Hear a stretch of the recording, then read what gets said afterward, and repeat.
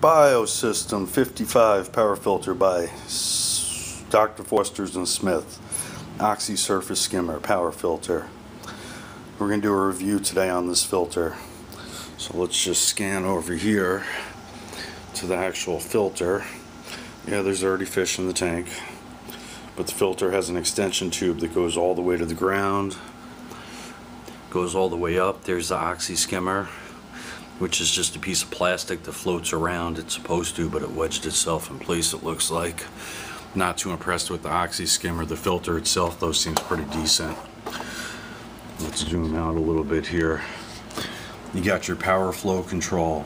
It's made to come to a point so you know where it is. I have it set to high right now. Uh, you can turn that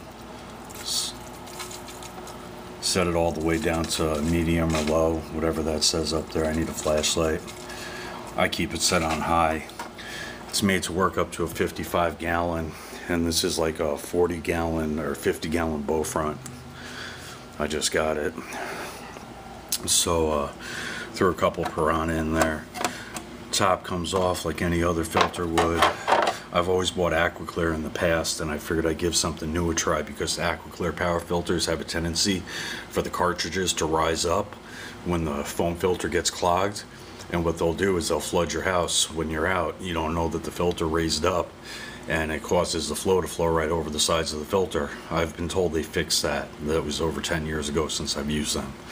So I don't know. I know that's always been a problem they had so I decided to try something new, and I've always been happy with Dr. Foster's and Smith.com uh, website. I've bought a lot of LiveAquaria from them, live rock from my salt tanks, and I've always been very, very satisfied with their products and the way they handle themselves. Okay, this filter comes with uh, a foam cartridge in the front, and then in the back of it, it's got a carbon floss cartridge that's in a package.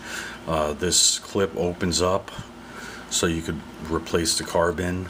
I don't know where you get the foams at. I bought replacement carbon cartridges. I got a box of them here. Bio 3 for, uh, as you can see, it's Dr. Foster's and Smith. Bio 3 filter cartridges. This comes with the carbon cartridge, but it doesn't come with the foam. Luckily, the foam cartridge is easily washed, so I don't see that needing to be replaced for years. Now this thing, the nice thing about it is it comes with the cartridge then it comes with the cartridge.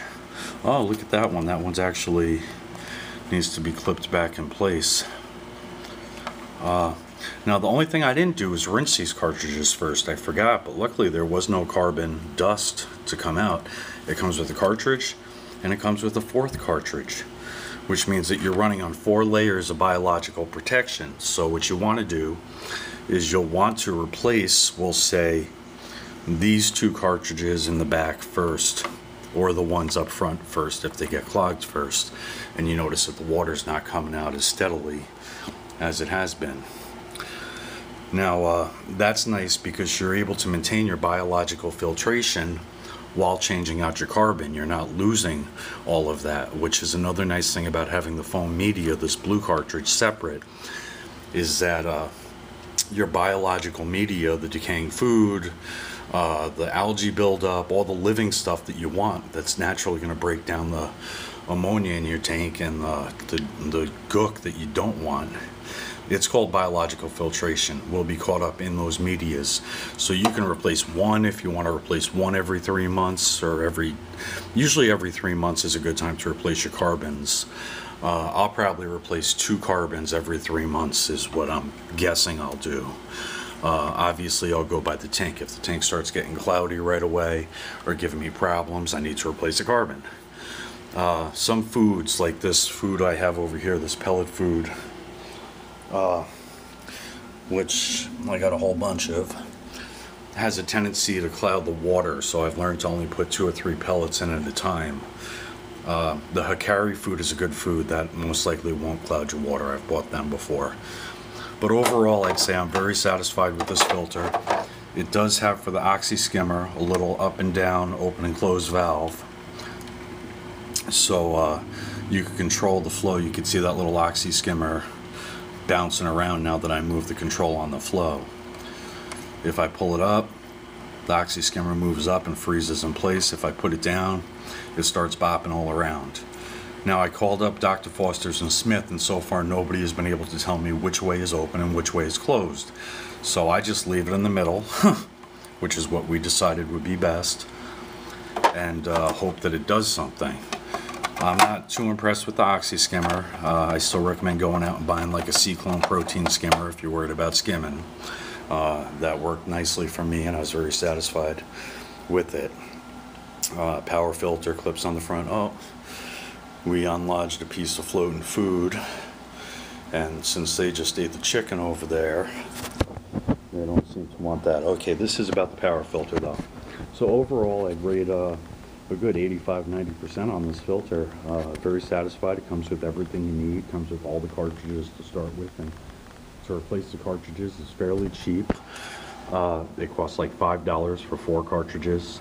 Uh, but note, you got to pay shipping. I happen to buy fifty dollars and above, so I just threw on the cartridges. But otherwise, it's going to cost you ten dollars for four cartridges, two fifty a cartridge. So you're looking at uh, every six months, ten dollars, we'll say, uh, in maintenance cost on this filter. If you wanted to replace two cartridges every three months, so that way the other two maintain your biological filtration. Okay, hope you enjoyed this little video. Uh, please check out the rest and see how my fish and hamsters are doing. Thanks, bye.